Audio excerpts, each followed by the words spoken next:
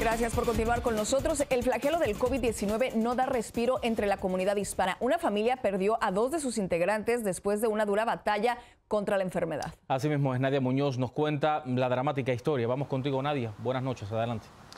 Hola, buenas noches. La pesadilla comenzó cuando todos los miembros de esta familia contrajeron COVID-19, incluyendo un bebé de tan solo mes y medio.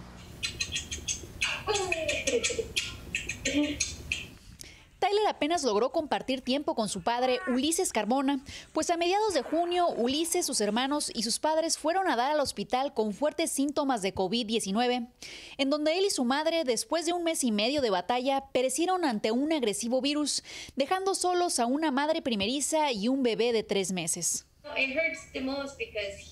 Es lo que más duele, porque no pudo ver a su bebé hablar o caminar, crecer, ni nada de eso, ¿sabes?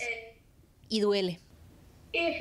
Para Juan Carlos Carmona, su pérdida fue doble, pues aunque él, dos de sus hijos y su nieto se recuperaron, su hijo Ulises y su esposa murieron recientemente a cuatro días de diferencia y afirma que el coronavirus le arrebató su feliz matrimonio y le quitó la oportunidad de ser padre a su hijo.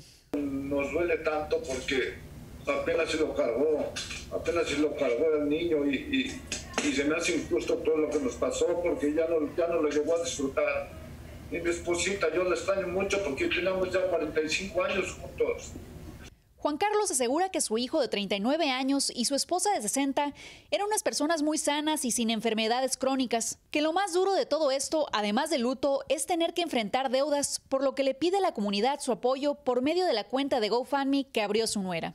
No tenía por qué haber seguido. Yo les extraño mucho y no sé cómo le vamos a hacer para soportar todo esto es muy fuerte para nosotros y necesitamos ayuda, por favor, porque tenemos tres meses sin trabajar.